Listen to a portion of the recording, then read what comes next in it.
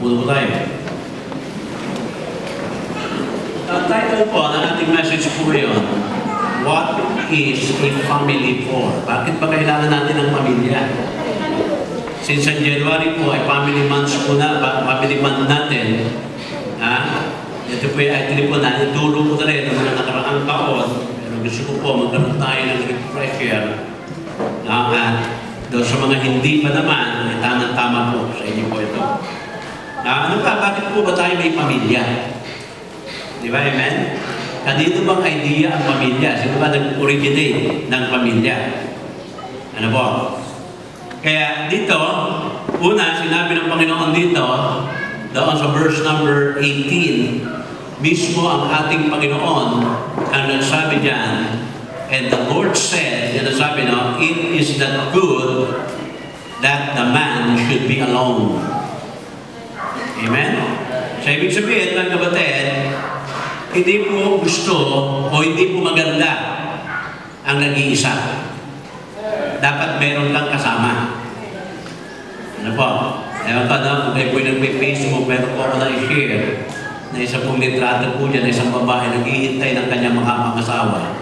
Kalansay na po siya. Hindi pa rin dumarating yung Prince Charming niya. Ayan naman po, Pedro, talaga naman maganda. No? Naghintay talaga eh. Hanggang naging kalansay eh. Ano po, no? Hanapin niyo po, doon sa time na ito, nandoon po yun. Baka matuwa kayo, mainis, o mainsulto. Anyway, sabi ng Bible po, mga kapatid, ano? Hindi po maganda. Ha? Kaya pag sinabi po ng Panginoon, hindi maganda, hindi ibig sabihin, mag-asawa ka. Dahil baka naman talaga ang calling mo eh, na maging single all the days of your life. Ha? Eh, walang problema po yun. Pero, ang sinasabi ng Panginoon, kailangan may kasama ka. Di ba? Dahil kung pwede naman tayo magkaroon ng kasama, hindi mo makasawa.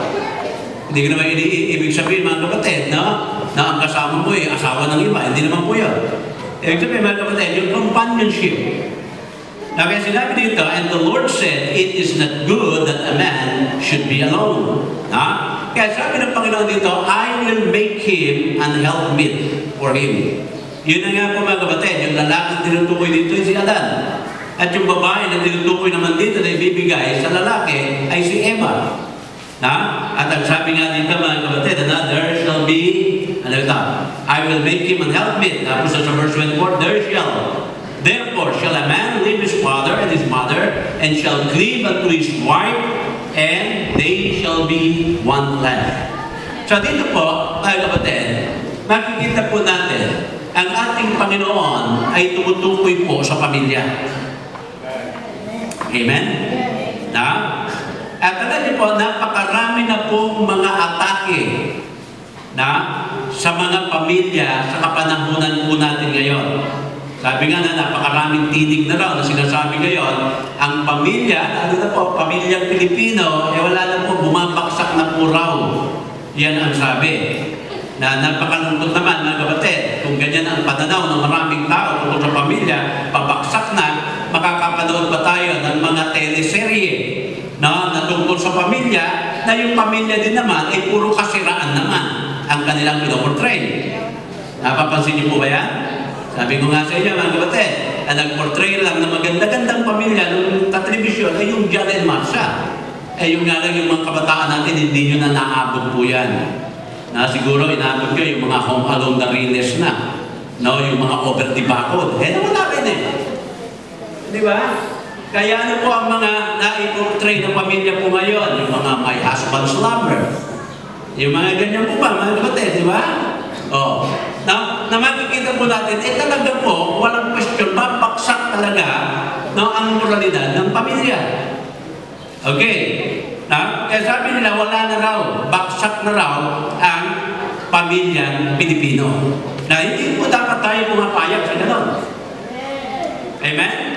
Sa totoo lang, mga kapatid, ang family ties ng Pilipino sa buong mundo, wala pong makakapantay. Eh, nakausap ako, sabi lang, gusto, gusto ko dito sa Pilipinas. Sabi niya, kasi sa Amerika, pag 18 anyos ka na, tinatapon ka na sa labas. Bahala ka na sa buhay mo. Di ba? Samantalang sa pamilyang Pilipino, mga kapatid, ako sa tuhod na, magkakasama pa rin sa isang kumpang o sa isang bahay. Di ba? Amen? Ayaw natin malayo sa isa't isa. Di ba? Sabi ko iba pa rin po tayo. Na, dalawang bagay po rito. Una-una ang pamilya, yan po ay ideya ng ating Panginoon. Na siya po, mga kapatid, ang nagtatag ng institution po na ito na talaga pong inaatake ng demonyo no, kahit saan lugar sa mundo. Bakit po? Sapagkat lahat ng gusto ng Diyos ayaw ng demonyo. Amen? Amen? Ah. Kaya pag meron kang niyaya sa church, na mag-attend ng church at tumayaw siya, hindi niya ayaw, ayaw ng demonyo. At yun ang ibinubulong sa kanya. Ano matin dyan? Di ba? So yun po mga kapatid.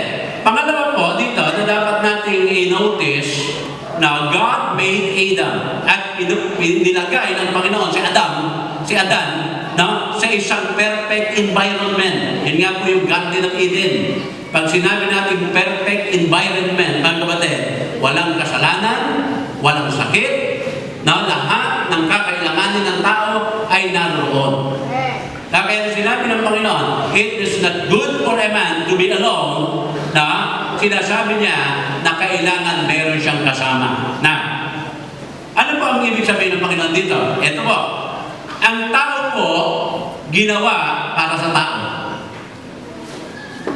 People were made for people. So, ibig sabihin, mga kapatid, kailangan natin ng relationship. Amen? Pag sinabing people were made for people, mga kapatid, ikaw ay ginawa ng Diyos para sa kapwa mo. Na magamat mga kapatid, sabihin natin, ano, ang panahon natin ngayon, medyo grabe na. Na marami na nagsasabi, mas mabuti pa raw aso kaysa sa tao. Kaya ang best friend niya raw, yung aso. Yung tao, hindi niya raw mapagkatiwalaan. Na maganda rin po yan, mga kapatid, sa isang banda may katotohanan, pero hindi yun ang original creation ng ating Panginoon. Na ayaw na makita ng Panginoon si Adan na siya'y nag-iisa, kaya gumawa siya ng isang tao uli-uli para meron siyang kasama. Kaya ang tao ginawa para sa tao. Amen? So, kaya tayo naririto po ngayon. So, mga kapatid, we need relationship. Whether you are married or not, kailangan meron ka po talaga na relasyon na you can care for people na nasa buhay mo po, mga kapatid. Na, na yung mga tao, alam niyo po, hindi tayo, sabi nga, no man is an island. Kaya hindi yung Brian, lagi ka nagmumukmuk mag-isa. Diba? Hindi po rin God created the family. Kaya, nang sinabi niya gano'n, na nagkaroon na po ng pamilya, si Eva Tadan, ito na po, ano ang sabi ng Bible na? It is very good. Amen? Kaya bakit po? Ano po ba ang pinakalayunin ng pamilya? What is a family for? Now, alam niyo po, tayo, ako po, ang edad ko ngayon ay, ilan na ba ako? 58 na ba? Ngayong Oktobre? 57 ba lang? Na? Daw po, na tayo po ay 57, o ano ang edad mo, meron na tayong pamilya, mga kapatid. Na minsan hindi natin na papag-usapan pa kung bakit tayo nagkaroon ng pamilya. Na? Para it was assumed na everybody knew what a family was for. Na ina-assume na lang natin yan. Kaya mga kapatid, tingnan niyo. Ano po ba, pag tinanong kayo, bakit kami pamilya? Ano kaya sasagot natin? Na ano ang purpose ng iyong pamilya? Di ba? Minsan, na-assume na lang natin, eh may pamilya, kailangan may pamilya. At kung may pamilya ka, ayun na na. Di ba? Kaya mga kapatid, pag sinabi natin, bakit ka merong tahanan? Bakit ka merong pamilya? Bakit ka merong tinutuluyan? Na dalawang, ano lang daw yan? Ah, pakahulugan. Una, meron kang lugar kung saan ka matutulog. Pangalawa, meron kang lugar kung saan ka kakain. Yun daw ang pamilya. Pero tingnan natin yung God's design for the family. God's design for the family. Ito po, mga. Una po, ang design ng Panginoon sa pamilya, a family is shelter from storms. Amen? Ang pamilya po, mga kapatid, ay pananggalan o pang panangga sa bawat bagyo. Amen? Naalala niyo mga kapatid, no? yung balita nangyari sa Yolanda, nung dumating si Yolanda, nawala lahat ng kanilang mga bahay. No? At higit sa lahat, nawala yung kanilang pamilya dahil nagkahiwa-hiwalay sila. At ang malungkot pa po doon, mga kapatid, sila ay napaghiwalay na, na permanente. Na? Kaya tingnan niyo po sa Proverbs chapter 14, verse number 26. Proverbs 14, verse 26. Sabi diyan, In the fear of the Lord is confidence. Namang amen dyan? In the fear of the Lord is confidence. Ito lang po ang takot na nagkakaroon ka ng kumpiyansa. Karaniwan sa takot, mga kapatid, nawawalan ka ng tiwala sa iyong sarili.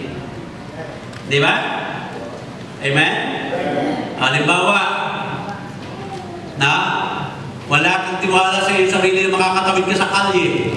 Ayo, abutin ka 30 minutos bago makatawid. Bakit hindi ka makatawid? Eh kasi nga natatakot ka. Eh di ba? Kaya sabi dyan, the fear of the Lord no, is, is strong confidence. Yan ang sabi po dyan. Okay. And his children shall have a place of refuge. Amen? So, ibig sabihin, ang pamilya, tignan niyo po ha, ang mga nangunguna sa pamilya, pag meron pong takot sa Diyos, ang kanyang mga anak ay magkakaroon po ng shelter. Magkakaroon po ng refuge. Magkakaroon po ng taguan na napakatibay. Na, na wala sino man o pwede na mapahamak sa kanyang pamilya. Amen? Ako niyo po yung kahalagahan? Kaya tingnan niya, no? ang kahalagahan lagi pa rin nandun sa magulang eh. Amen? Kaya dapat pa nagkakaroon ng takot muna sa Diyos, magulang. Sumusunod na lang yung mga bata. Yan ang sabi po. Na, ano-ano po ba? Meron po tayo mga iba't ibang klaseng storms o bagyo. Wala po. Yung storm of change, pagbabago. Alam niyo po ba mga kapatid, merong mga pagbabago para sa mabuti. Meron din naman pagbabago para sa masama. Merong positive or negative. Kahit anuman pagbabago yan, mga kapatid, lagi-lagi po yan nagbi-build up ng tinatawag na stress. Amen? Then again, nagbago tayo. Dito po nasa taas na tayo, iba sa inyo, na-stress. Nahihirapan umakyat. Di ba? Okay. Nung una tayo umakyat dito, sabi ko, Pastor, hirap naman, sana may gabay. May gabay na po tayo ngayon. Nilagyan na po ng hawakan. Na? Alam niyo ba, titigil na tayo, hindi, may stress pa rin tayo. Sana, Pastor, may ganito pa rin. Kahit ano po, mga kapatid. Ibig sabihin, tuwing merong pagbabago, merong stress. Amen? Amen? Ngayon, saan po tayo kukuha ng shelter para ma-overcome natin yung stress? Sa pamilya po. Amen? Di ba, sabi ng mga bagong nagpapamilya, sabi, meron isa, dalawang anak, mga maliliit pa lang yan, lagi ang kanilang mga dialogue, yung mga statement nila, mga sinasabi nila, ay, naku, nakita ko yung aking maanak na kamukha ko, nawawala lahat ang pagod ko. Eh, di ba? Amen? Saan mo nakikita yun? Ano naman sa kalye? Na? Kanina mo nakita yung mga anak na yun? Hindi sa iyong pamilya. Amen? So, kailangan mo maging, ano po tayo, no? Shelter from the storms of changes or change. Amen? Okay, ano ba yung storm na yan? Pangalawa, yung storm of failures. Yan, nobody wins all the time. Amen? Para yung ano ba, yung sa Madrid ba yun, yung may labanan ng mga toro? Natapos meron isang kainan po doon, mga kapatid. yung mga pigi ng toro ba? Yung pinaka-tenderloin ng toro, yun ang ini, ano? Yun ang siniserve. Kaya pagkatapos po ano na yan, kinabukasan, makita mo, lalaki nun. Ibig sabihin, yun yung napatay ng torero ba tawag yan? Oh, yung matador. Eh, isang araw, punta sila, ba't maliit yung pigi? Sabi ka na, hindi naman lahat ng pagkakataon, nananalo yung ano eh, yung matador eh. Amen? Amen? Ibig sabihin, patay yung matador, may pigi niya na yan doon. Na, sure. Ibig sabihin, ay kapatid, ano, hindi sa lahat ng pagkakataon tayo po'y nananalo. We all make mistakes. We all stumble. Amen? Ganyan mga kapatid, yung mga storms, ay paano pag ikay nagkamali, saan ka pupunta? Paano pag ikay nadapa? Na sino ba babangon sa iyo mga kapatid? Sino ba ang magiging kakampi mo? Eh di pamilya ka rin. Para sabihin mo, bakit yung pamilya ko hindi ganun? Eh hindi ko alam. Pero ang maganda dyan, kung yung pamilyang pinanggalingan mo hindi ganon, huwag mo na i-copy-paste pa yan pag ikaw na ang may sariling pamilya. Ha? Katulad sa amin, yung aking lola at lola, lola sugarol. Yung aking tatay at nanay, sugarol. Nasabi ko nga po sa inyo, ang pinaka-crib namin ng araw, lamesa ng madyungan. Doon kami natutulog. Na pinakalaruan namin na building blocks, pitya ng madyong. Lumaki kasi sa ganon. Kaya nakita namin hindi ayos yung ganong klaseng pamilya. Kaya nung kami na, ni isa sa amin walang marunong magmadyong. Bakit? Ayaw namin na kaming mga bagong henerasyon itutuloy pa yung pagkakamali ng mga nauna sa amin. Di ba? Kaya mga kapatid, failure, nobody wins all the time. No? We all make, make mistakes. We stumble, mga kapatid. Sometimes, no, we fail the test. Sometimes, tayo po'y nawawala ng trabaho. No? Meron pagkakataon, mga kapatid, na yung ating promotion dapat ma-promote ka na, hindi ka pa rin napopromote. Meron din mga pagkakataon na babankrupt po tayo. Marami po mga kapatid na mga failures na tayo po nararanasan. Ngayon, sino po ang magbibigay shelter sa iyo sa mga oras na ikaw ay nag-fail? Pamilya pa rin po. Ha? Pag tayo po ay naiiyak, kailangan po natin yung meron na mga shoulder to cry on. Amen? Na, tingnan niyo po sa Ecclesiastes chapter 4, verse number 9 to 10. Two are better than one. Palagay niyo po, logic yan. Ha? Amen? Two are better than one. Sabi niya, because they have a good reward for their labor. Verse 10. For if they fall, the one will lift up his fellow. But woe to him that is alone when he falleth, for he hath not another to help him up. Amen? Di ba maliwanag mga kapatid? Kung merong mga failure, dapat merong magtatayo sa iyo. Meron mga kapatid na medyo tatapik-tapikin ka sa iyong likod. Kaya pa natin yan. Di ba, amen? Yan ang tahanan. Oh. Ano ba? Yung type ng rejection na ano, na ng peda store. Na pangatlo is rejection.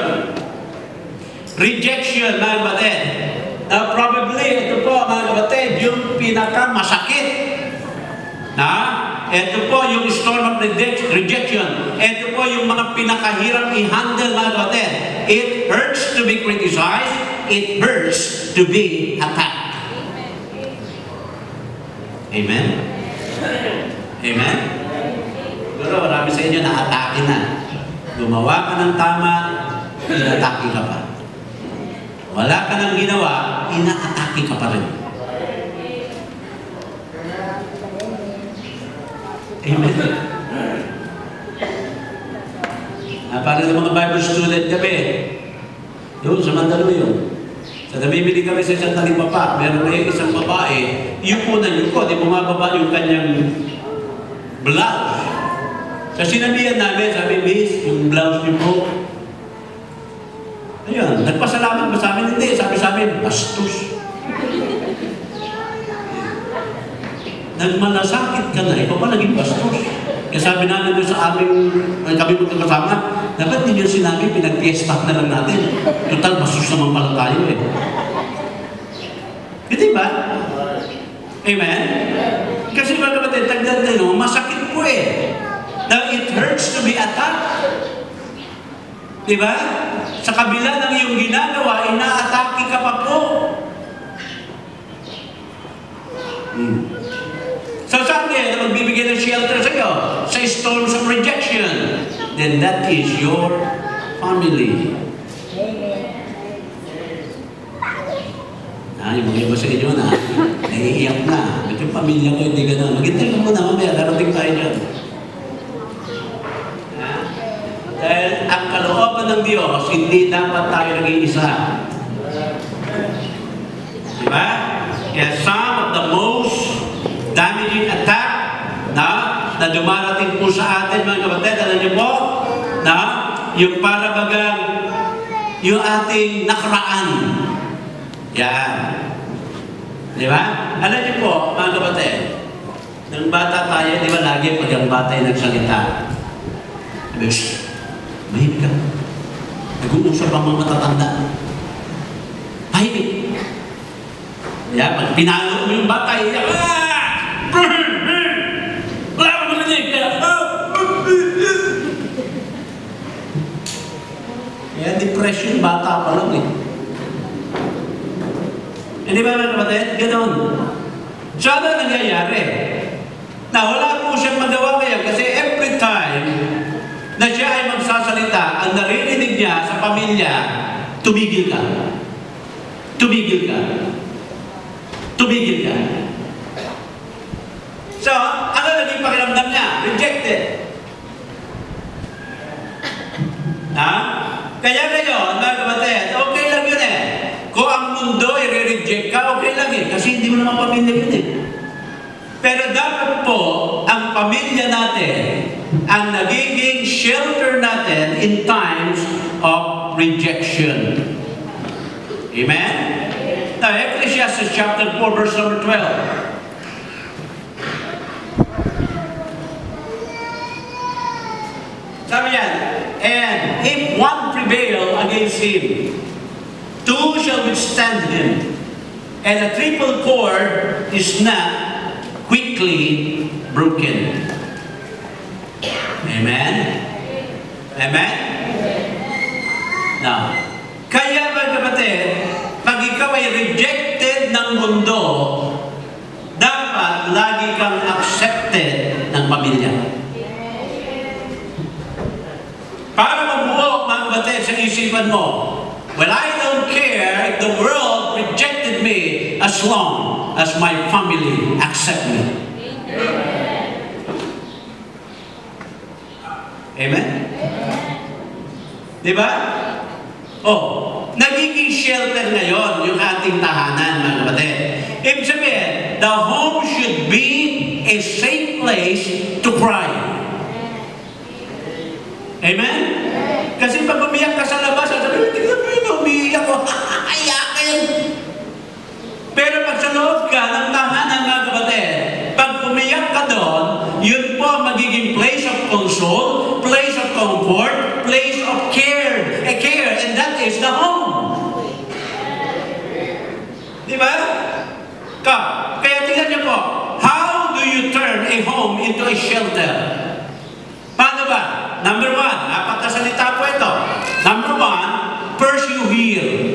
Pakinggan mo. Ano ba ang mga hinaing ng ating pamilya? Pakinggan natin. Hindi mga kapatid, yung patigilin mo siya sa kanyang magsasalita. Hayaan mo siyang magsalita salita. Makinig ka lamang mga kapatid. Amen? Ha?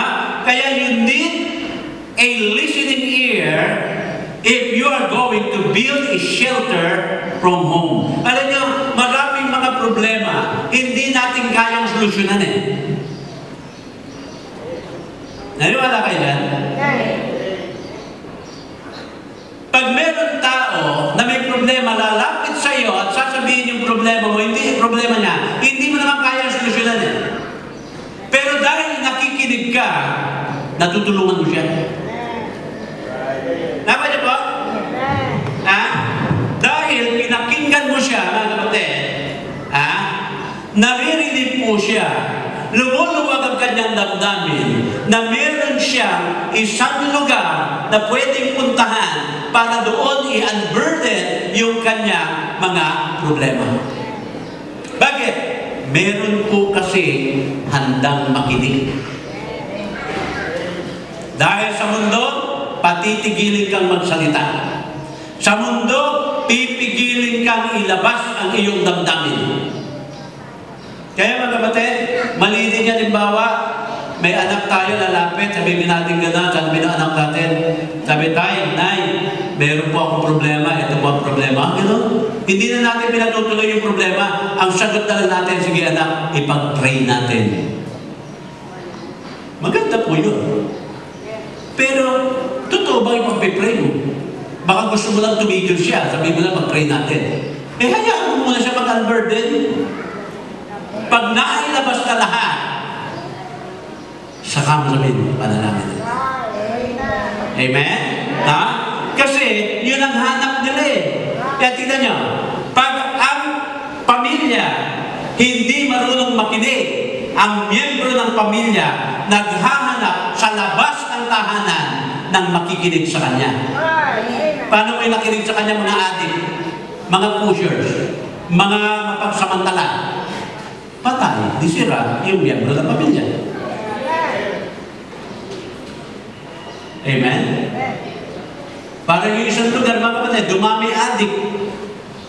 Pag tinanong mo yung mga adik, bakit ka ba nag-aadik? Eh, kasi yan yung mga kaibigan ko eh. Yan yung nakikinig sa akin eh. Yan yung nakakakilala sa akin. Eh, ba't yung mga magulang mo sa lututan? Hindi po, hindi sila. Lagi na naman wala sila. Lagi silang walang panahon sa akin. Laging ganyan, di ba?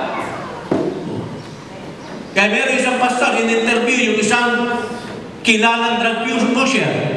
Sabi nga lang, bakit? Ang napapansin ko, ikaw na drug pusher, ba't ang dami mong customer? Samantala yung aming simbahan, ikakaunti tao. Ano ba ang ginagawa mo? Pero nagtatanong na yung pastor sa drug pusher, bakit marami siyang kliyente? At bakit yung church niya kakaunti ang tao? Alam niyo ang sagot mga kapatid ng drug pusher? Simple lang eh. Kasi lagi ako nandoon pag kailangan nila ako eh. Kaya yung drug addict, pag kailangan nila, ando doon agad yung pusher. Hindi na nila hinahanap yung pusher. Sila ang hinahanap ng pusher. Kaya may kliyente. Amen? Tama niyo po? Oh. Kaya mga kapatid, tingnan niyo ha. Yan ang kailangan po here. Second word, hug. Medyo konting yakap naman, embrace. Hindi yung pagbata, anak, embrace, embrace. Nung malaki na ayaw na natin mag-embrace, embrace. Amen? Amen? Oh, halimbawa, yung ating mga anak na babae sanay humalik sa kanilang tatay na lalaki. Natural. Lalaki, tatay. Naniniguro na. Di ba, amen? Oh. Eh, paano yung halik na yon? Nakita sa boyfriend. Tapos yung boyfriend, mapagsamantala. Di pa tayo? Amen? Amen? Oh, so dapat po, pag naman sabihin, hindi naman kasi Pilipino yung hag-hag na yan eh. O di natin natin yung version ng Pilipino na hag-hag. Ano ba? Ah, wala kasi tayo mga Pilipino mahiyain eh.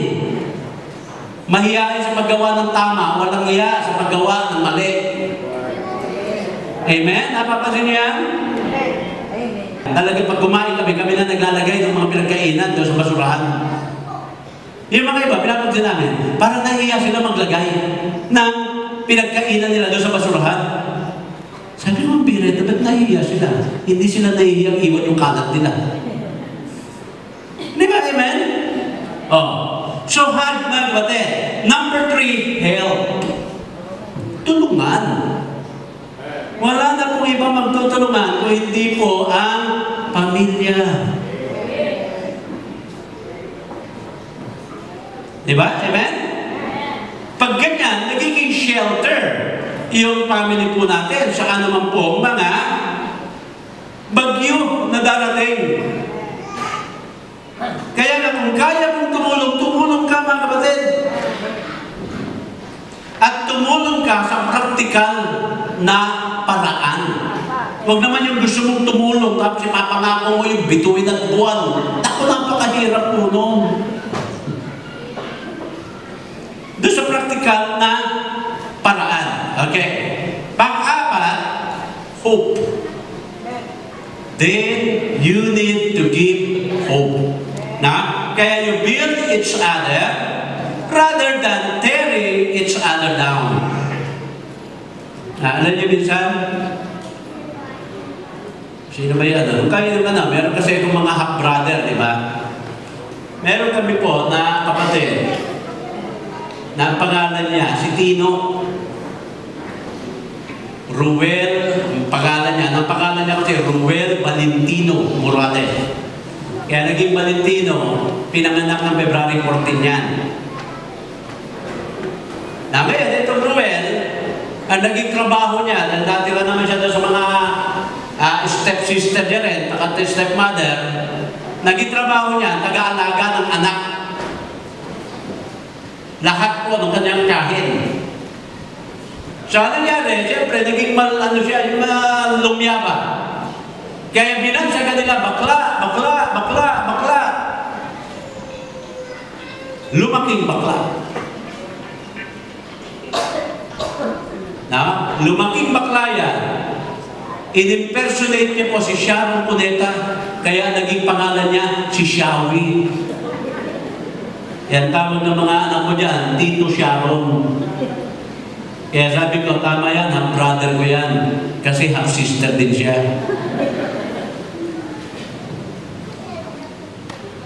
Napa niyo po? Amen? Oh. Kaya nung hope pa binibigay natin sa ating mga anak sa tahanan. Minsan sabi, ah, salba, salbahe mo, salba, salbahe mo. Yun, lumaki, salbahe talaga. Kasi yun ang tawag sa kanya, salbahe. Parang kwento isang bata, di ba umiiyak, nakita ng pulis. Sabi ko, ba't umiiyak bata? Sabi ka na, eh, kasi po, nag-aaway po doon sa amin. Saan ka ba nakatira? Sa impyerno po. Ha? Ano pangalan ng tatay mo? Si Satanas po. Sabi doon sa pulis. Oh. Tapos eh, nanay mo, eh, bruha po ang pangalan. Ikaw ang ng pangalan mo, demonyo. Tingnan nga, punta nga tayo. Inabot yung nanay at tatay nag-aaway. Sabi ng tatay doon sa nanay, Ay, bruha ka, napakawalang yan mo. Sabi naman doon na, Satanas ka! Sabi nga, makaalis na ka sa impyertong bahay na ito. Nakita yung bata, Hoy, demonyo, umalis ka rito. Sabi ng pulis, tama nga, sinasabi ng bata. Anong hope, pag-asa ang naibibigay natin? Di ba? Kaya the shelter from the storm becomes the shelter of storm. Now, dapat yung place din of acceptance becomes the place of rejection. Nagpa niyo po? Nasisira tuloy ang ating pong pamilya. Nagpa niyo po? Amen? Oh.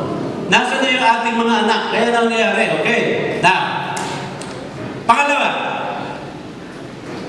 a family is to be a learning center for life. Learning center for life. Psalm 144 verse number 12.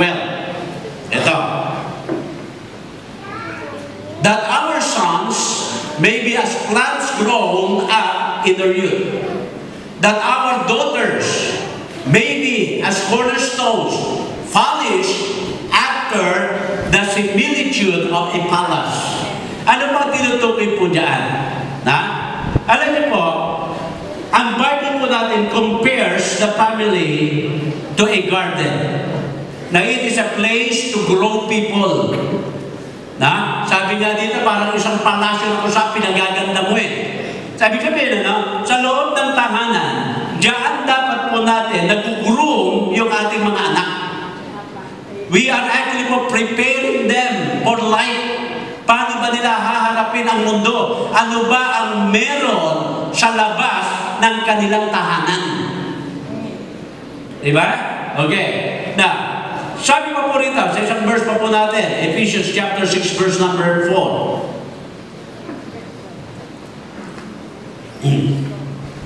Okay, nasabi yan? And ye fathers, provoke not your children to wrath, but bring them up in the nurture and admonition of the Lord. Now, sinasabi po rito ng Bible, mga kapatid, kayong mga magulang, ang sinabi po fathers, parents po yan, huwag nyo naman i-provoke yung mga anak nyo na magalit. Alam niyo po mga kapatid, minsan mayroong mga magulang ang nakikita sa anak pagkakamali. Pag nakagawa ng tama, wala man lang appreciation. Pag mali, umanda. Pag tama, tahimik. Amen? Amen? Kaya kahit naman po, nakagawa ng tama, batiin nyo rin naman. Sabi nga mga kapatid, ano? You praise in public. You discipline in private. Amen? Kaya yan, kaya tingnan niyo po, mga kapatid, ano? When you are training your children, you want to take them through yung three stages. Number one, siyempre, yung first stage, parent control. Maliliit pa kasi. Na, kailangan kontrolado siya ng kanyang mga magulang. Parent control. Pangalawa na stage, mga kapatid, self-control. Dapat yung mga anak natin, natututo po sila magkaroon ng control sa kanilang sarili. At yung pangatlong stage, mga kapatid, ah, pag yan po'y solo-solo na, ah, ang tawag na po yan stage, God's control. Kaya parent control, self-control, God's control. Kaya God intends for our families to be na, the learning or to be learning center for life. Kung meron po dapat tayong natututunan sa loob ng ating tahanan. Kasi pag natutunan na po ng ating mga anak ang labas sa ating tahanan, matututo na yan uminom ng alak. Matututo na yan uminom ng drugs mag-drug. Matututo na yan mag... Na, marami po. Kamunduan ang matututunan niya. eh. Na kaya mga kapatid, Huwag niyo sabihin, de, okay kami ng mga anak ko, kaya pag mayroong Pasko, bagong taon, nagiinuman kami ng mga yan eh. Maawa ka sa sarili mo. Pananagutan mo lahat. Yang ginawa mo na yan. Amen? Ha? Kaya anong klase ang na ituturo mo sa kanila? Okay. Now Luke chapter 2, verse 52. Tingnan niya. And Jesus increased in wisdom and stature and in favor with God and men. Kaya dito po, nakikita natin, no? that ought to be yung goal ng ating pamilya na mag-grow tayo in four ways. Una po, intellectually, spiritually, socially, and physically. Tingnan nyo, what you learn from your family. Ayan. Una dyan ay we learn relationship from our family. Ano ba yung relationship? Kasi alam nyo na kasi relationship, boyfriend, girlfriend eh. Kaya ilalagay, Vincent Katapang is in relation. Nababasa ko sa Facebook yan eh. Naglagay naman kayo ng ganyan sa Facebook. Pero meron yan, di ba? Ano kaya ibig sabihin nila yun doon? In relation. Relation kaya sa kanyang sweetheart? So, ibig sabihin mga kapatid, when we talk about relationship, lagi iniisip natin, yung labing-labing relationship na isang dalaga at isang binata. Di ba? Amen? Pero tinutukoy dito, learn relationship from family. Ano po yan? Relasyon ng tatay, anak, nanay, anak, asawa at asawa, magulang, na sa mga anak at anak sa mga magulang. Yan ang pinag-uusapan ng relationship po dito. At doon po, doon natin matututunan yan kung gaano kahalaga ang relationship, mga kapatid na napakalungkot pag ang mga magkakapatid nag-aaway-away dahil sa material na bagay. Ibig sabihin, walang natutunan na relationship yon. Na meron 50 square meters na lupa, pinag-awayan, hindi mandahan pa. Amen? Na, ang iba nga nagpapatayan pa dahil sa mga material na bagay. Magkakapatid. Magkaka, ano ito, magkakamag-anak. Ibig sabihin, yun ba ang halaga at katapat ng relationship? Material na bagay lang ba?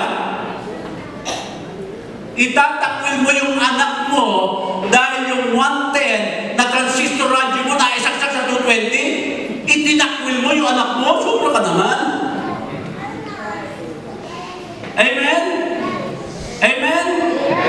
Ha? Nasira ng anak mo yung pang-straight, yung pang-plancha ba? Nang iyong buhok, hinambalos mo ng bote sa ulo? Maaari mo, exaggerated yung aking sinasabi.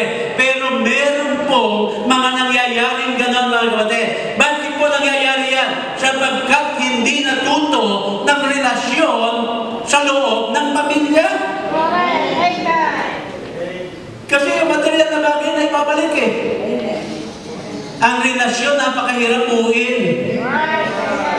Kaya we, we learn relationship from our family. Now, right or wrong, good or bad, you learn how to relate to people from your family. Ha? Ano pa po? We learn character in the family. Di ba? Character is more cold. Tignan niyo po ha, mas madali po yung nahuhuli kesa na ituturo eh. Di ba? Kaya the older I get, the more I see how much like yung ating mga matira niya. Pag bata kasi, katulad yung mga baby pa lang yung mga anak ko, okay lang kami pag medyo nag-aaway kami mag-asawa, hindi pa nila nanay, pero habang lumalaki na yung mga bata, nauunawaan na nila yung nangyayari. Napapahiya na kami. Tama niyo po? Kaya sabi tuloy ng mga bata, no? Habang tumatanda ako, mas nakikilala ko ng mga magulang ko.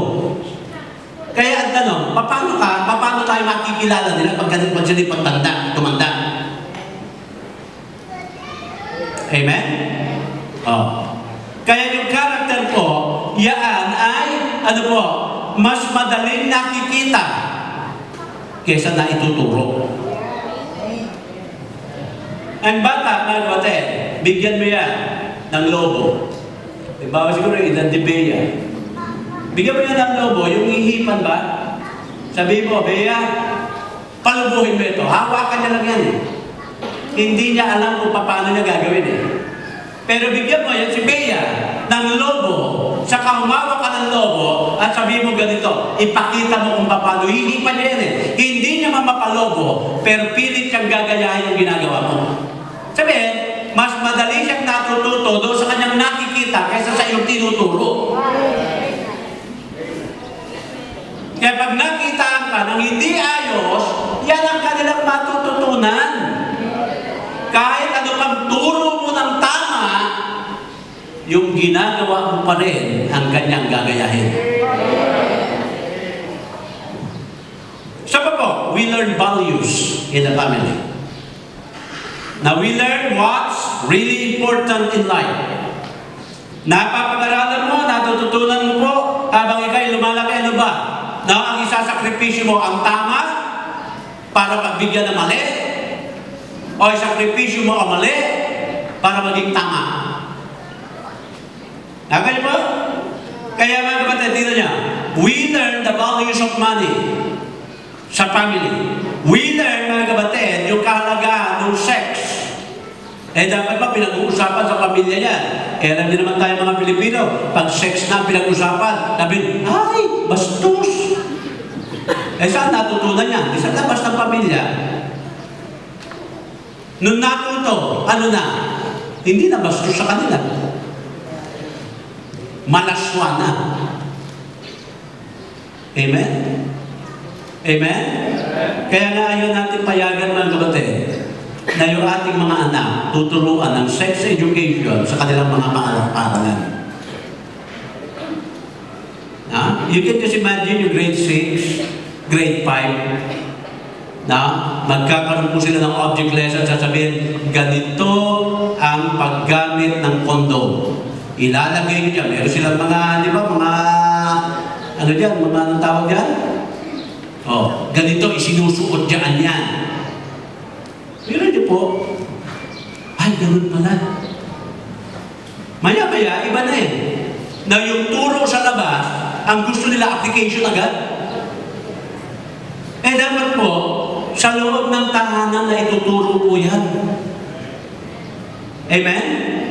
Na kasi, pag sa eskwelahan na, bakit nyo gagawin ito? Na, ang isa sa mga dahilan dyan, para maging safe ang sex. So, if you promote safe sex, sa tahanan po ang pinopromote, mga kapatid, abstinence from sex hanggat hindi ka pa handa. Na dapat ayon sa banal na kasulatan. Napa niyo po? Amen? Kasi pag ganun na nangyari, katulad dyan, meron ako naging classmates ng high school, nagkita kami sa States. Doktora po ito, nag-nurse sa, sa Amerika. Naging successful, nagkaroon siya ng mga nursing home. Ubod ng yaman.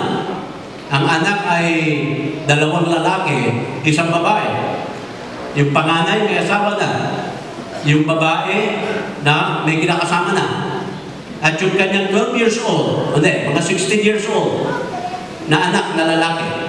Sabi sa akin ng nanay, classmate ko, sabi niya, Boots, yan, dito kasi sa States, iba eh. Kaya yan, may supply sa akin ng condom yan, isang dosena, buwan-buwan. At pagkatapos ng buwan, ha, ini-inventaryo ko yan kung ilan yung nandoon sa kanya, ilang bangkay na tira. Dadagdagan ko uli yan. Sabi ko, bakit ganun sa inyo dito?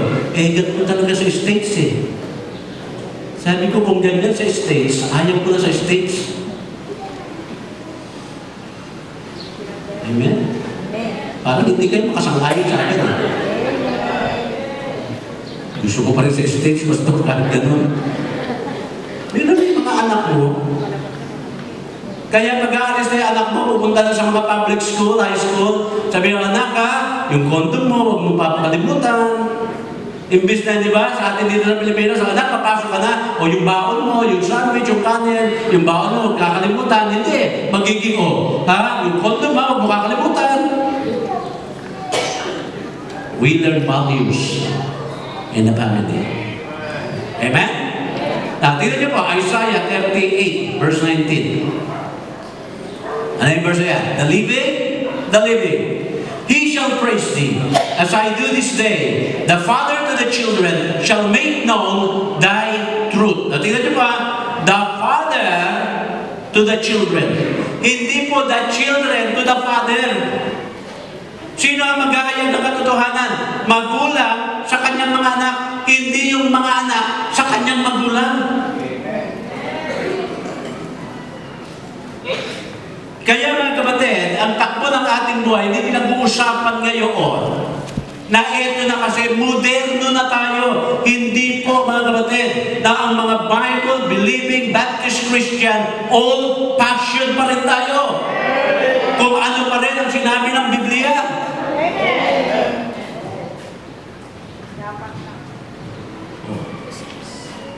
Yan po sinasabi po sa atin, mga kapatid.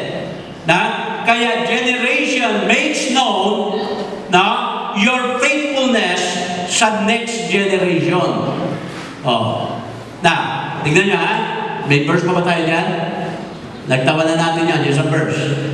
Ialam niyo ba ang average ng mga kabataan ngayon, ha? Sila po ay nanonood ng telebisyon. Bali, umaabot ng 1,000 hours every year. Isang libong oras taon-taon. Mga bata po yan. Ha? Sama na. Siguro kung sasama mo yung computer, baka madoble yan. Na?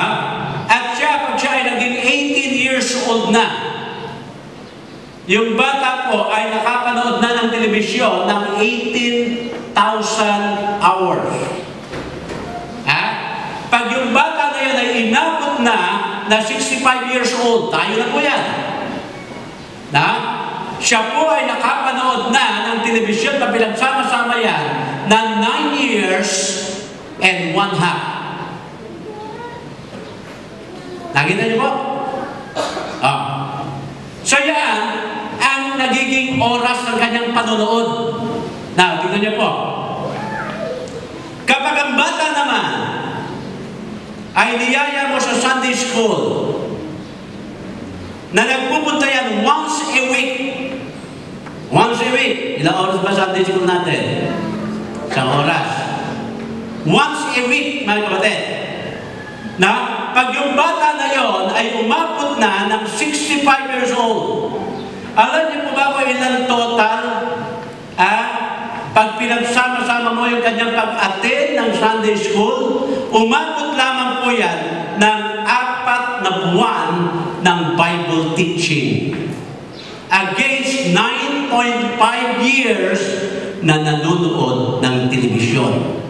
Parehong taon, 65 years old. Kaya ang tanong ay ito, ano ba ang naituturo natin sa ating mga anak? Opo. Minsan yung mga anak natin, iniiwan pa natin sa bahay. Huwag na nating dalhin sa church yan, magulo. Huwag mong dalhin sa church dahil ang dahilan mo magulo. Ha? Sige. Darating ang araw, kayo ang guguluhin niya sa inyong tahanan. Amen? Tama ba itong mga nasasabi ko rito? Okay, what is my response to ganon? Evaluate my values. Ask yourself two things. Okay, ito po. What am I unintentionally teaching to my kids? Ano ba yun? Tignan po natin. What am I teaching them about money? Na? Yung mga napapanood, meron pong isang pamilya, umalaw sa akin. Yung mga bata maliliit pa, eh, nahihiyahin pa yun. Sabi ng tatay, basta ito, pagsabihan niyo ma. Kasi meron siyang gustong panoorin. Ayaw namin payagan. Eh, parang sumasama ang loob sa amin. Tapos sabi ganti yung bata, nahihiya na, nahihiya na sa akin. Tapos sabi ng nanay, gusto mo ba sabihin na natin kay pastor para siya mismo ang magsabi sa iyo kung dapat kang panoorin. Sabi niya, hindi yun. Kaya ba yan, sinabi rin sa akin, sabi ko, yan, ano gusto mo panoorin? Yung, ano ba yun? Yung girl, boy, bakla, tomboy, ano yun? Yun daw gusto ko doon. Sabi ko, ano mo anak? Hindi magandang palabas yun. Kasi, tignan mo ha, nag-aral ka naman ng Bible. Hindi ba, ang create lang ng Panginoon sa Bible, eh, si Adan? Opo. Eh, yung babae, si Eva? Opo. Wala naman doon yung bakla tomboy eh. Kaya hindi ka looban ng Diyos yan. Sabi sabi mga kapatid, ano ba yung unintentionally, hindi naman talaga natin intention, pero unintentionally natututunan nila at pinapayagan natin. Tao po. Kaya tignan nyo rin mga kapatid kung ano yung napapanood nila. Kaya nga merong babala. Di ba? Ang palabas na ito ay maaaring, di ba? Kailangan ng patnubay ng magulang. Oh. Kaya yan po ang dapat nating alalahanin. What, what, what am I teaching them? Now, about character, honesty. Now, yung mga issues of life, yung mga hard work, at yung mga values. Tingnan natin. Tinuturo ba natin sila magkaroon ng tamang karakter? Tao po. Pangalawa, is it really what I want to teach them? Ayun ba talaga gusto ko ituro sa kanila? Na? O hindi naman? Kaya mga kapatid, kailangan po natin itama ang mali. Di ba dapat magpasalamat tayo sa Panginoon meron tayong Biblia. Hindi naman tinuturo pagiging mag-aasawa. Ano yung kukunin mo na ano, certificate of ano yan? Family planning. Ano yung tuturo sa'yo sa family planning? O, huwag mong parami ng anak. Tinuruan ka ba kung paano yung magiging relasyon mo dapat sa iyong mapapangasawa? Wala eh. Meron bang mga subject sa eskwela na ituturo sa atin yan? Di ba meron ganun, di ba? Naalala ko nung araw, subject, meron yung subject na ethics eh. Meron pa ba ngayon yan sa college? Meron pa rin? O, sabi nga, ano subject mo yung ethics? Sabi "Ah, hindi ako, wala na ako ethics. Ibig sabihin, tapos niya na yung, eh, wala na raw siya ethics. Tapos niya na yung subject na yun. Di ba? Wala na ako ethics eh. Tapos ko na yun. Eh, di wala ko na ethics. So, wala na. Di ba, amen? Ah, meron din naman nga yung GMRC. Pero ang tanong, yun nga ba ang tinuturo? O Bible na nga nagtuturo para itama ang pamilya? Amen? Ito lang po eh. Ito mga kapatid, yung aklat na binabaliwala. Ito po, na ang aklat na tinuturo na tulad ng ating pong church na kinaiinisan pa yung ating church. Magugulo yung mga baptist na yan. Di ba? Pero mga kapatid, ito po ang nagliligtas sa atin yung mensahe nito eh. Ito po ang nagpapaayos sa ating bansa, yung mensahe po nito. Kasi kahit sa loob ng tahanan, mga kapatid, yung tunay na mensahe ng Panginoon na ilalagay na po sa isang tabi. Amen? Pangatlo, Busi ko na po yung oras ko. Wala naman tayo Sunday school pa rin. Pangatlo, ito po, a family is a place to play. Amen? Sabi na, tama, biblical po kami. Anong play nyo? Anong play? Anong play nyo? Sa eh, hindi kami kami. No, nagtotongits kami. Ah, di ba? Place of play, play eh. Di tongits kami, magkakapatid, kasama tatay, kasama lola. Ha? Ah, tingnan niyo po dito. Ito gusto ko itong verse na ito. Una yung Ecclesiastes 9, verse number 9. Maganda ito. Live, tingnan niya, joyfully, kanina daw? Ha?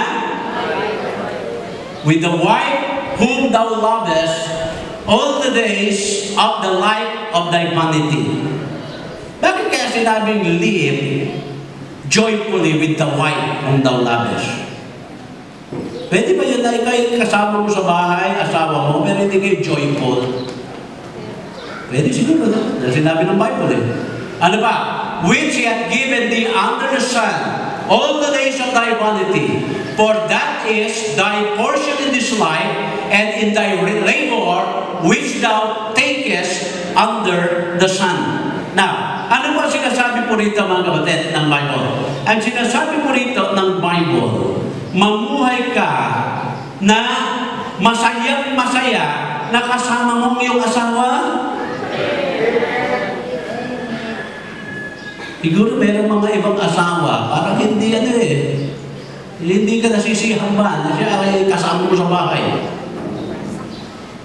Siguro yung maingay. Na yung speaker of the house. Amen? Di ba? Yung 35,000 words per day, ang kanyang nasasabi. Meron niyo po, di ba? Na pag gising sa umaga hanggang matulog na gabi, siya lamang ang iyong naririnig. Di ba?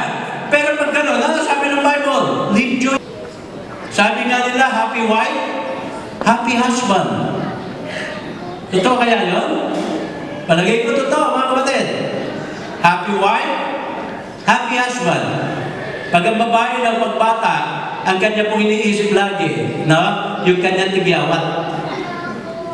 Pag medyo dumalaga na, mga kapatid, yung kanyang figure. Pag matanda na, yung pera na, lang iniisip niya.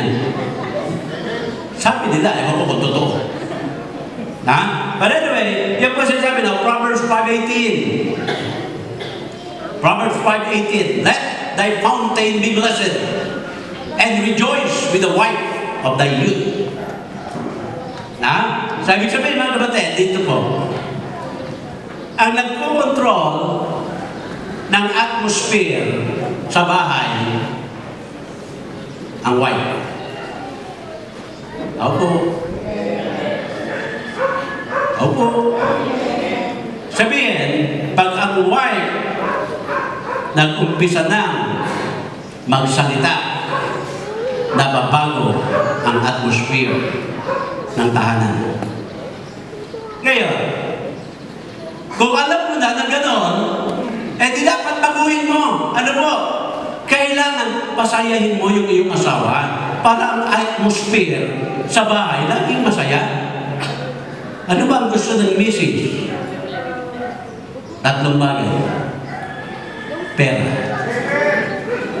Salapi. At kwarta. Hindi naman sa akin sinasabi natin mukhang kwarta sila. Hindi po. Kasi sila yung nagbabudget eh. Medyo pumai-stress siya pag kulang na yung budget. Na napagpapalingan tayo at yung mga anak. Pero ganun pa man, sabi, let the fountain be blessed and rejoice with the wife. Sabi dyan, ano? Of thy youth. Tapos sabi po ni, ano, ang nagsabi po rito, si Solomon. Alam niya kasi dami niya asawa eh. Sabi ng Bible, pitong na asawa at 300 na concubine. Kaya alam na alam niya, kung meron pa pong master, siya na po yun. Na, sinabi niya yan live joyfully. Di ba? Sa iyong asawa din. So, alam niyo po mga kapatid. So, ibig sabihin na, there should be a balance in the home. Balance dapat na sometimes you're either tie up with your work, na yung asawa mo naman, siyempre, tie up din naman sa pag-aalaga ng mga bata. Kaya ang nangyari, hindi kayo nagkakaunawa mag-asawa. Ang problema mo sa trabaho. Ang problema naman ng asawa mo sa anak. Di ba? Sa ibig sabihin, pag-uusapan nyo parehong problema, walang solusyon. Bakit?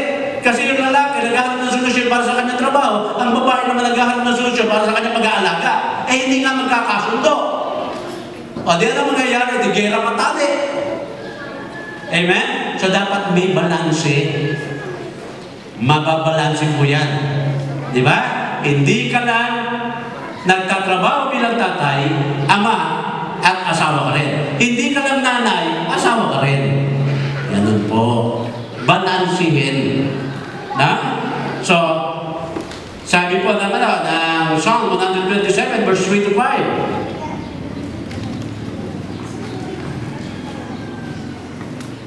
Hindi niyo?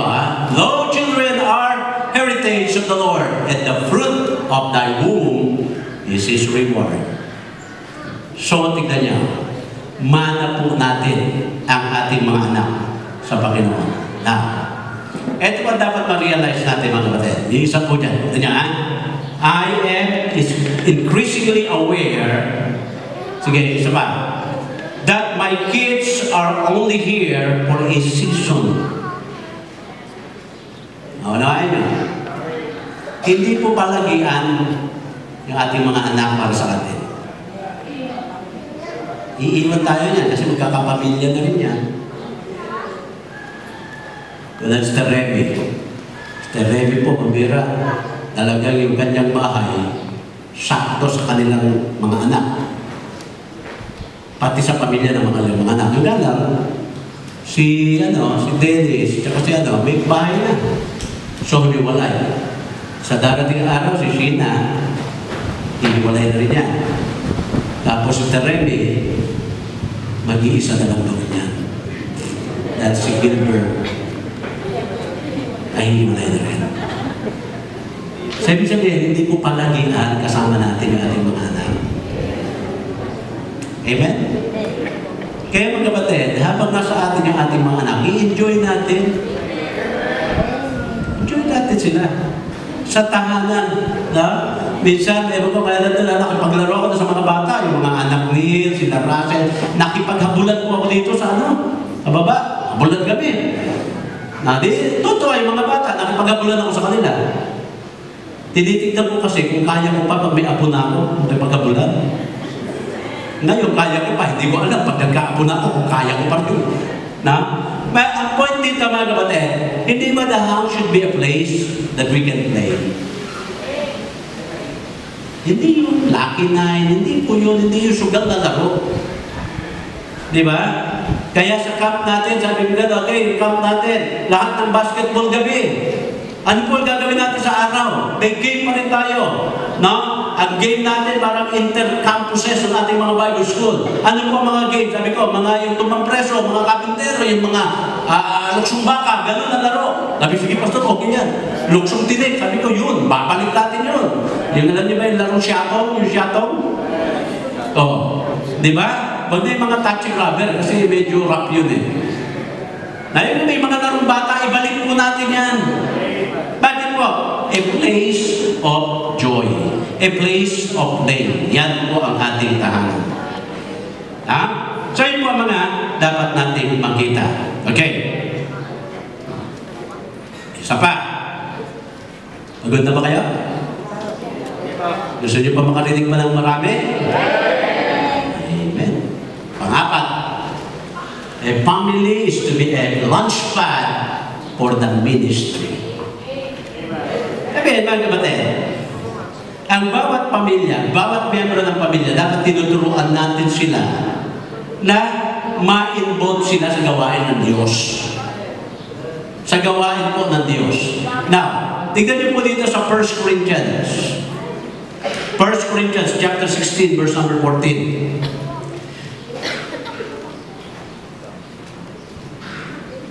First Corinthians 16, 15 pala. Isa pa, yun. Tama ba yan?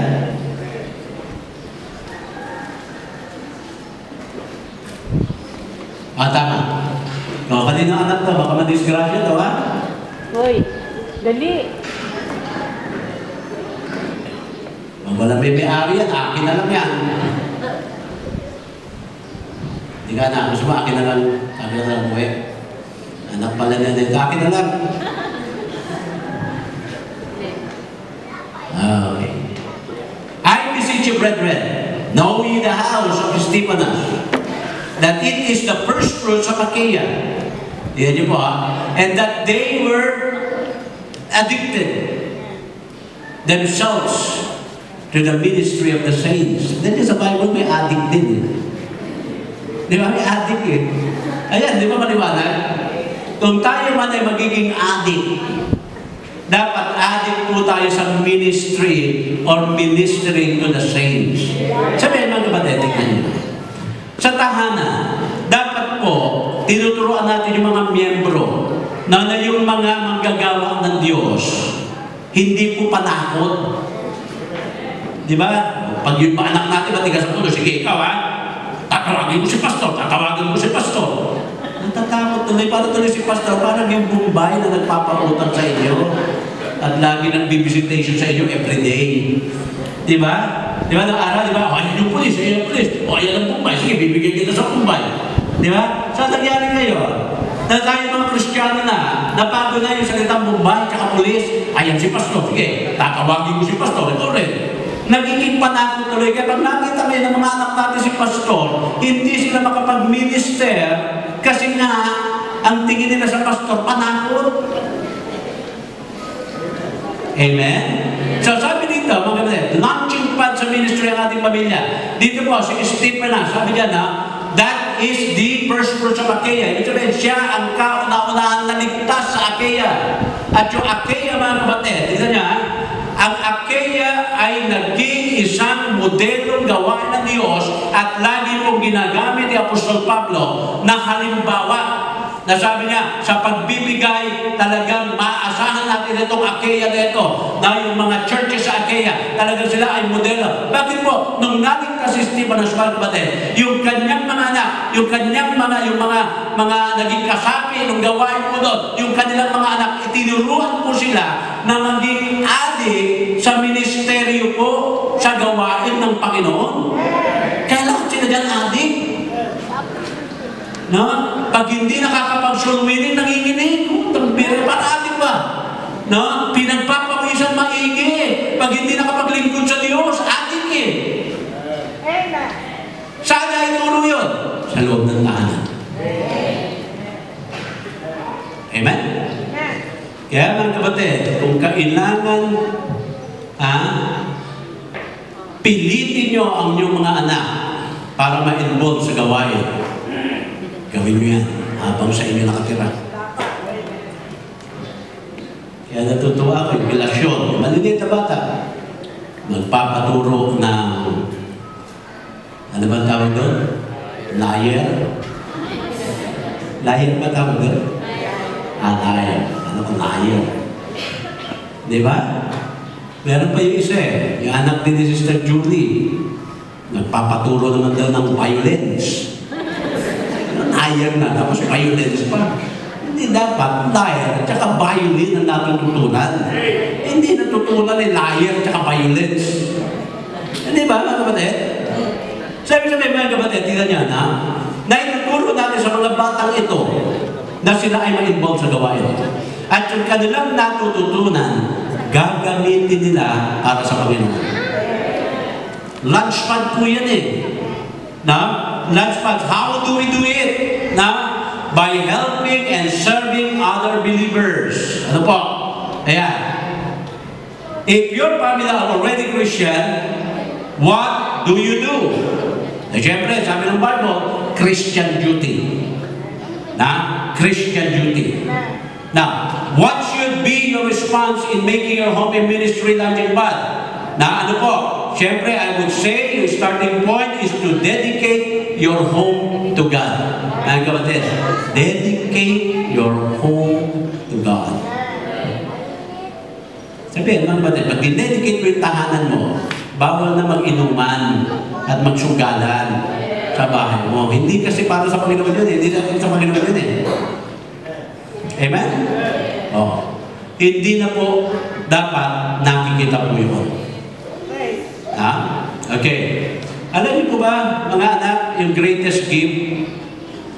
Actually pa na, eto parents, the greatest gift you can give your children, ayan po,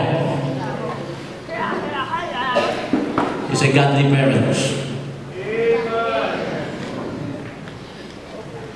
Amen? Makakapagbigay po ako ng napakadakilang regalo sa aking mga anak kung ako ay mamumuhay na maka-Diyos na pamumuhay. Amen? Pakasaya, di ba daw? Wala na kayo magulang na Uli lang na kayo, di ba? May hati naman kayo maganda.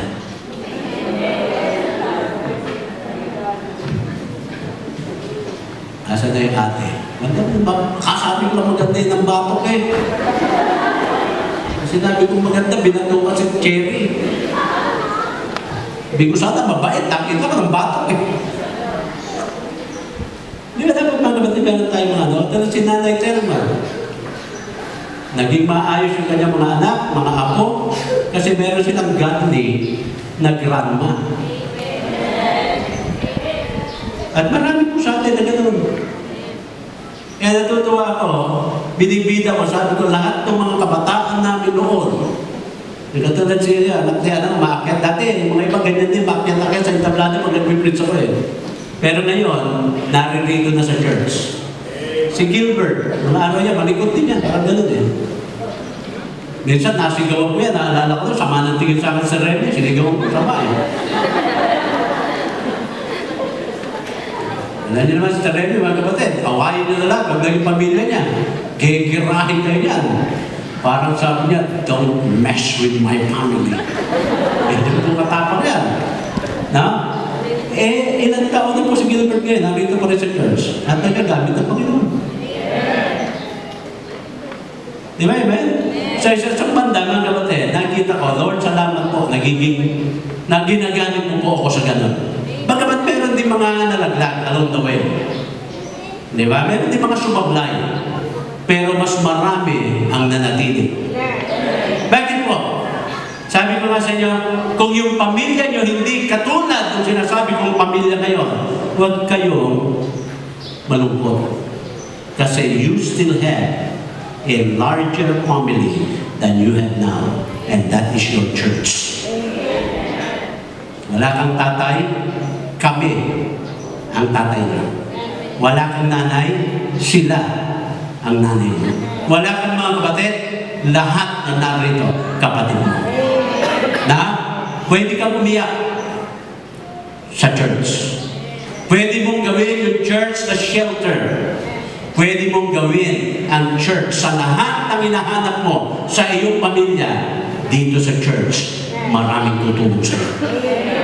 Huwag ka malungkot kung ikaw ay single parent, kung ikaw ay dating may asawa, na kung ikaw ay napalo, kung ikaw ay walang asawa nga, yung single ka, na andi rito po ang Bible Baptist Church of Marilao. Yan ang iyong pamilya. Kaya ang address ko po lagi sa inyo, family. Kasi gusto ko yung unang maramdaman niyo. Yung hindi nyo man nakita sa inyong pamilya, at least kahit papano, nagkakaroon kayo ng glimpse ng maayos na pamilya dito po sa ating church. Amen? Para sa mga bisita, mahaba pa po eh, pero puputulin na. Para sa ating mga bisita na naririto ngayon, sabi ng John 1.12, paki-plus nyo nga yung verse na yan. John 1.12, sabi dito, no? But as many as received Him, si Jesus Christ po, yung Him na tinutukoy niya, to them gave He power to become the sons of God, even, even to them that believe on His name. Sabihin ano, kung gusto mo maging kasama sa pamilya ng Diyos, tanggapin mo si Kristo. Kaya baka sabihin mo, paano ko tatanggapin ni Kristo? Eh, makasalanan ako. Oh, tingnan natin. 1 John 1.9 1 John 1.9 If we confess our sin, Amen? Meron ba tayo dapat i-confess? Meron. Kasi makasalanan tayo eh. If we confess our sin, He is faithful and just to forgive us our sins and to cleanse us from all our unrighteousness. Ano ang kailangan? Magsisi. Amen? Bakit pag hindi ka nagsisi? Ito po, Romans 6.23. Ano ang sabi diyan sa Romans 6.23? For the wages of sin is death, but the gift of God is eternal life through Jesus Christ our Lord. Ang kabayaran ng kasalanan, kamatayan. Anong kamatayan? Physical? Ano pa? Spiritual? Hiwalay ka sa Diyos dahil ikaw sa makasalanan? Pangatlo, eternal. Ano po yun? Yung iyong kaluluwa itatapon sa impyerno. Pag inay namatay. Pero ayaw ng Panginoon yan, sabi niya, but the gift of God is eternal life through Jesus Christ. So kailangan natin ng eternal life. At yung eternal life na yun, matatagpuan lamang kay Yesu Cristo. Tanggapin mo si Kristo, bibigyan ka ng eternal life. O magkakaroon ka ng eternal life. Isa pa po, Romans 10.13 Or whosoever shall call upon the name of the Lord shall be saved. Kung hindi ka pa po tumatanggap kay Kristo sa inyong puso, tanggapin niyo siya ngayon. At ikaw ay maliligtas. Ayaw po natin ito ba?